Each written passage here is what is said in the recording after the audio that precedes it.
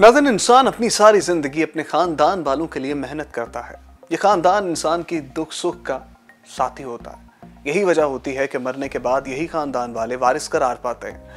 मगर हर इंसान के पास ये हक होता है कि वो वसीयत के ज़रिए अपनी दौलत को तकसीम कर सके और अपनी मर्ज़ी से चाहे तो अपनी दौलत से किसी को महरूम रख दे या फिर किसी को नवाज़ दे अपनी दौलत अपने ख़ानदान वालों को तो सभी देते हैं, मगर अपनी अनोखी वसीयत से सबको हैरत में डाल दें, ऐसा आपने बहुत कम सुना होगा। तो आज की स्टोरी में मैं आपको ऐसी ही कुछ वसीयतों के बारे में बताऊँगा कि लोगों ने ऐसी अनोखी नसीहतें की हैं कि आप भी सुनकर जो है वो चौंक जाएँगे या आप हंसेंगे और हो सकता है कि ये चीज़ आपको गम में भी मुबतला कर दे। तो सबसे पहले आता है आधी दौलत कुत्ते के नाम कर दी एक शख्स ने। भारत की रियासत मध्य प्रदेश के 50 साल रिहायशी ओम नारायण वर्मा की चार बेटियाँ और एक बेटा है।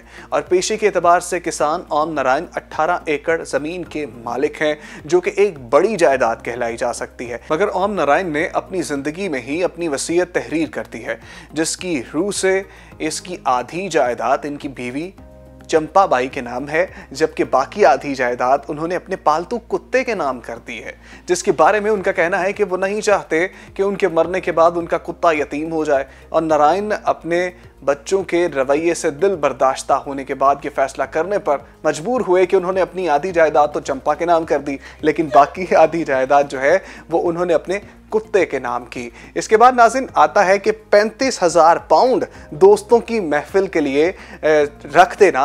ये भी कोई कोई करता है। अगर आपका कोई दोस्त है तो उसमें अगर आपके लिए ऐसा किया है कि अपनी जायदाद में से थोड़ी सी भी जायदाद आपके लिए रख जाए तो ये काफ़ी बड़ी बात होगी। लेकिन यहाँ पर यह हुआ कि पैंतीस हज़ार पाउंड दोस्तों की महफिल के लिए रख दिए, जहाँ एक जानब तो नारायण साहब ने चंपा के लिए दौलत रखी तो दूसरी जानब इन साहब ने क्या किया कि अपने दोस्तों के लिए पैंतीस हज़ार पाउंड रख दिए कि वो शुगल करेंगे और महफिलों में जब जाएँगे तो पार्टीज़ में ये पैसे सर्व करेंगे। ऐसा इंसान किसी ने नहीं देखा होगा, जो कि मरने के बाद अपने दोस्तों के लिए, महफिल जमाने के लिए एक बड़ी रकम को छोड़कर मरे।